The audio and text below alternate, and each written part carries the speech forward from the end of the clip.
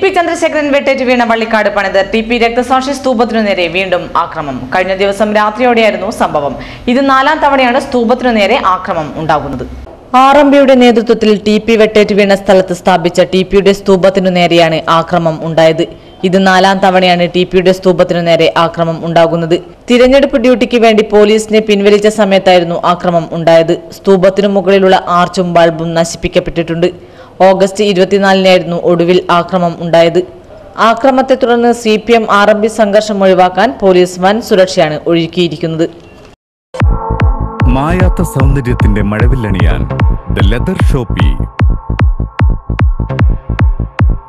ചെരിപ്പുകൾ ബാഗുകൾ ഫാൻസി സാധനങ്ങൾ എന്നിവയുടെ കമനീയ ശേഖരവുമായി ഒരു ഷോപ്പിംഗ് വിസ്മയം. നിലകളിലായി വിശാലമായ കാർ പാർക്കിംഗ് സൗകര്യം